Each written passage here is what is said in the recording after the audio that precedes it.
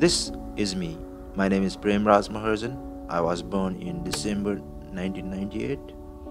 I don't have a lot of pictures from my childhood.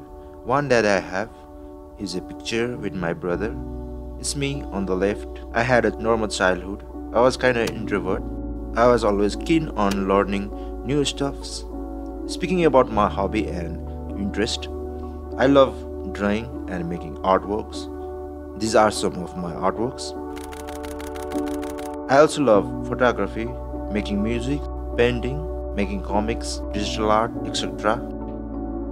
I have a YouTube channel where I post videos related to art. I have been publishing videos for about 4 years. Now I want to move on to do something new. I've always had a dream of buying a camera, capturing the moments, exploring new ideas, telling my stories, etc. So recently I bought a camera with some money that I had been earning by doing some jobs, commission work, etc. Now I want to welcome you guys to my channel where I'll be starting a new chapter of my life, sharing stories, moments, ideas, inspiring and motivating each other along the way. Follow me on my journey